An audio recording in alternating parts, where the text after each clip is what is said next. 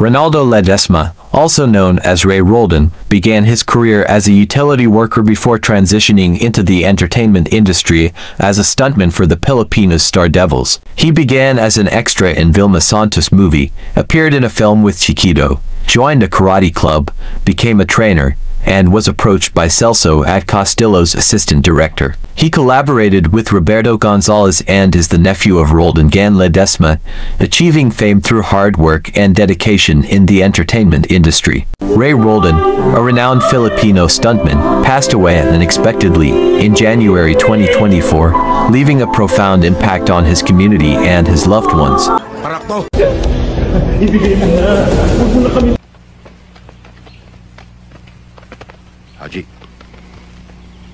Nandito na si Mukhtar. Dito tayo. Eh sir, nandun ang kalaban ah. Kaya nga dito tayo eh! Bilisan mo! Para saan yun? Yung lagay mo. Bakit kamag-anak pa kita? Tanong mo kay Waray. Bakit? Anong kailangan mo? Ano ba talagang kailangan mo? Huwag ka na marami pang tanong. Alam kong kailangan mo ng pera. Pagtulungan tayo. Sino ka ba?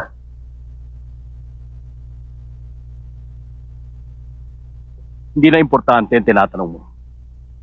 Ang mahalaga ngayon ay ang mailigtas natin ang buhay ng iyong anak. Paano?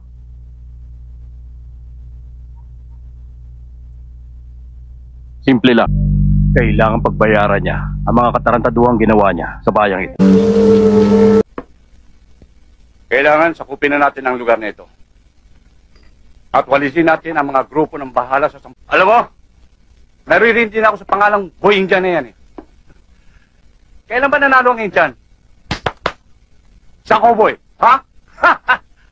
Kaya naman tinawag na Boy Indian yun eh. Dahil mahilig kumain ng Indian Mingo. Bilisan mo! Yung minok? Oh, parik! Magaling ho talaga, sir. Sa katunayan nga eh, ibang klaseng ginawa niya sa tondo. Sa isang malita butas lang, tinira niyang hostage taker. Ganun ba? Sandali lang.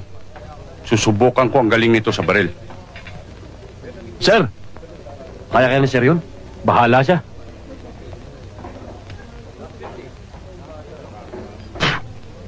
Santiago, putok na putok yung ginawa mo sa tundo ah. Magaling ka rin sa baril. Sintado ka pa. Chamba lang yun, pare. Sa palagay ko nga. Ito, kaya mo?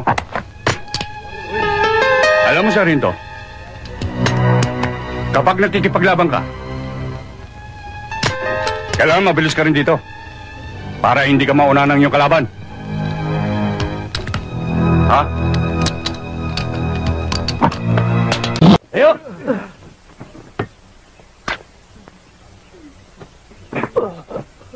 Ikaw na naman.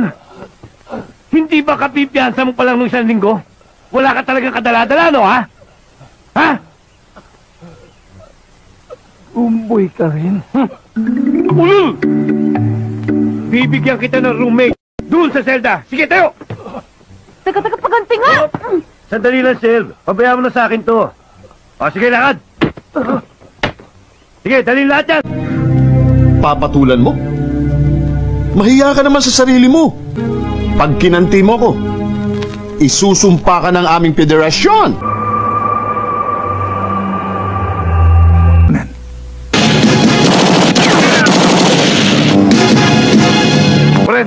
Wala naman pala tayo mapapala rito. Ang mabuti pa, sumuko na lang tayo sa batas. At harapin natin ang parusang nararapat para sa atin. Maaring hindi na natin masaksihan ang katuparan ng ating mga pangarap. Ngunit, ito'y tatamasahin ng mga susunod na mga Salamat. At di mo kami. You're part of the deal.